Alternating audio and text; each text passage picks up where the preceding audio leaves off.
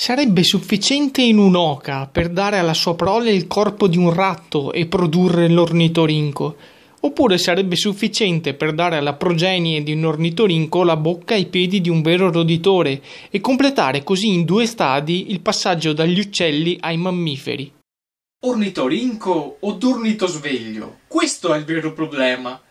L'ornitorinco è davvero quell'essere arcaico elevato a organismo creato con i pezzi avanzati da madre natura dopo aver completato la creazione di tutti gli altri animali? No, miei cari più o meno verdi, non è questo il suo retaggio e men che meno la sua identità.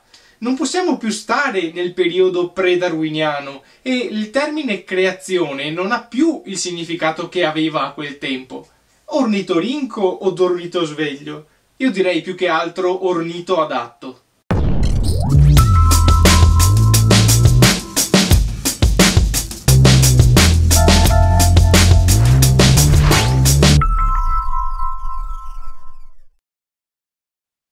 Racconterò la storia di un mammifero e anche quella di altri mammiferi conosciuti col nome di uomini, che continuavano ostinatamente a dire che quel mammifero non potesse deporre uova, sebbene la sua anatomia urlasse il contrario. Ma andiamo per gradi.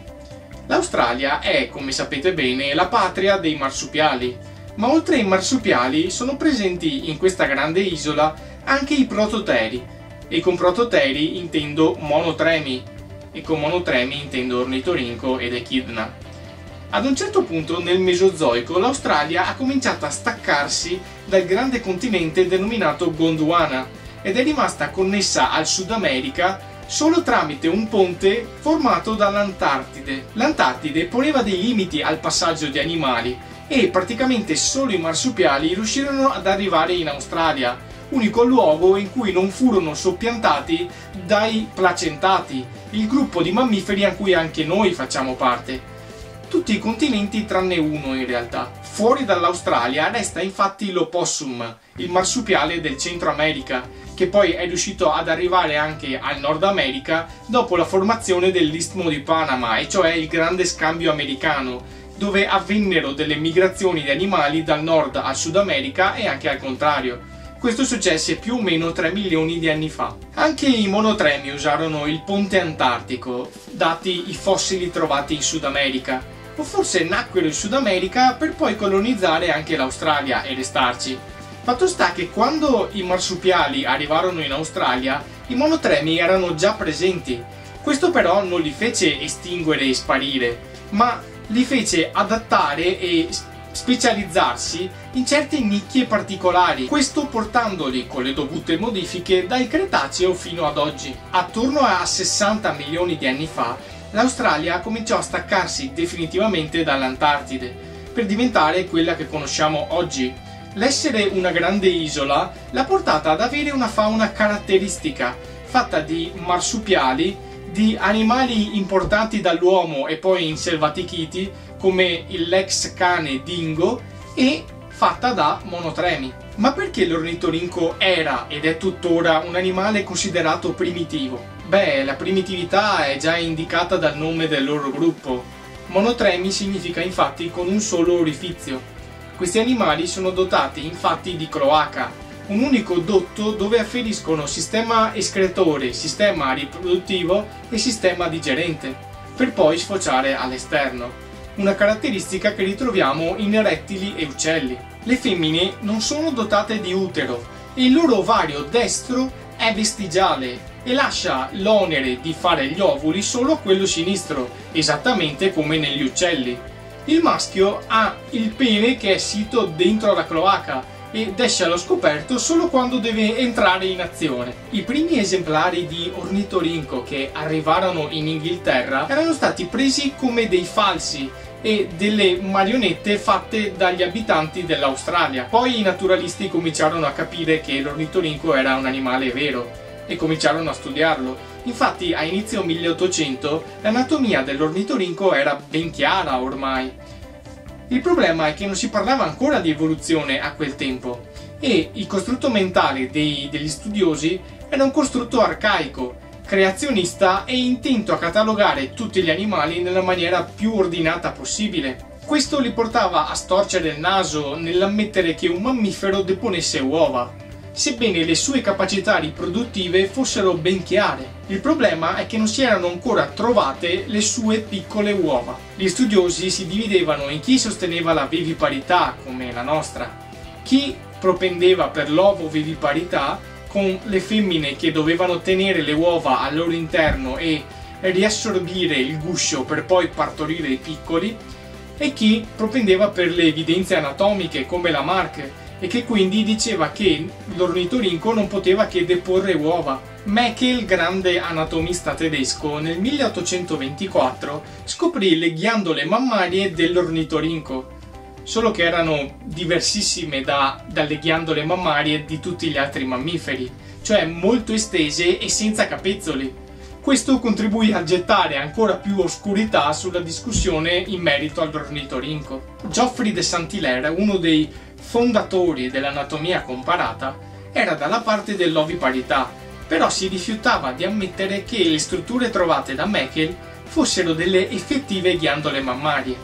Ad un certo punto propose di sistemare i monotremi in un raggruppamento tassonomico indipendente allo stesso livello degli altri vertebrati sostenendo che ficcare a forza i monotremi dentro i mammiferi fosse inutile, fosse solo un modo per ordinare il tutto. In questo modo lasciava ai posteri l'onere di dover sistemare tassonomicamente nella maniera più corretta questi animali.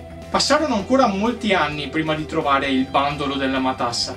Questo successe nel 1884, quando un naturalista inglese mandò in madrepatria un telegramma con scritto Monotremi ovipari uovo meroblastico. Dopo un secolo di discussione, Caldwell aveva trovato le uova di ornitorinco e queste erano meroblastiche, cioè dotate di un grande tuorlo, esattamente come quelle degli uccelli, una caratteristica primitiva. Da notare che tra l'inizio del discorso sull'ornitorinco e il ritrovamento delle uova era spuntato Darwin e la sua teoria aveva reso possibile l'esistenza di forme intermedie e la compresenza di caratteristiche di diversi vertebrati sullo stesso animale. Troppe persone allora e ancora oggi considerano l'ornitorinco un animale arcaico o, ancora peggio, incompleto, forse perché non si sapeva e non si sa come poteva essere avvenuta l'evoluzione del platipo o platipo